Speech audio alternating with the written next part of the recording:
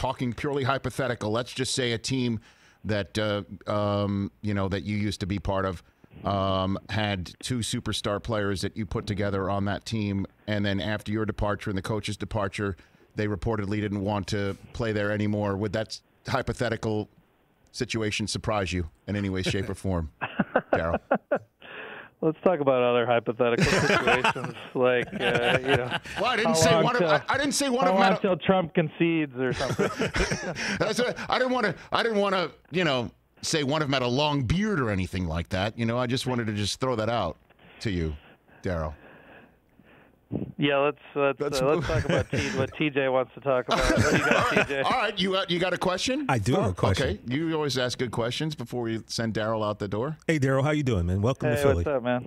So, question: You are president of basketball ops, and Elton Brand is the GM. I'm just kind of mm-hmm. wondering yep. how you two work together and what that synergy is like Very with those good. two positions.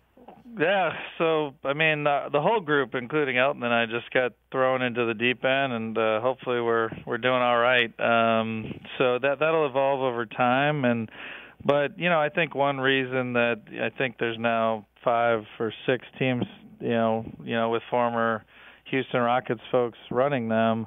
Uh, I give a lot of responsibility to the people around me, and uh, Elton's going to have a lot of that, and I have a lot of faith in him. And the fact that he wanted to join forces with me is is still something I'll re- always remember. And you know, it's uh, it's great. I uh, I'm I'm excited. So, you know, he's going to be doing a lot of the calls, a lot of the a lot of the analysis, and we're going to be working together with.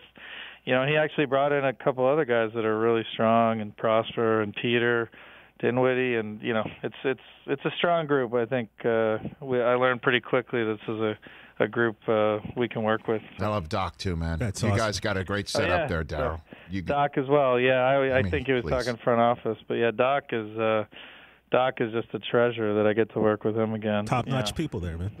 you know, Yeah. Top notch. And Daryl, No, I'm, I'm out here on you the gotta West give Coast, ownership. so Josh Harris and David Blitzer credit. I mean, they're you know they were like, let's we're doing this. You know, so that, that's that's pretty cool. So Daryl, uh, I, I guess it, does does Elton sit shotgun or, and you drive to the airport, or, or how does that work? Just Because I don't drive, you know that, right? what? Um, I, I yeah, didn't. No, I didn't know that. You do not drive, Daryl? Are you serious? Not really. I mean, not really. Yeah, just uh, I'm on my phone too much, and I'm, I'm just too dangerous. So I, I've decided Responsible. for, the- Yeah, for safety first.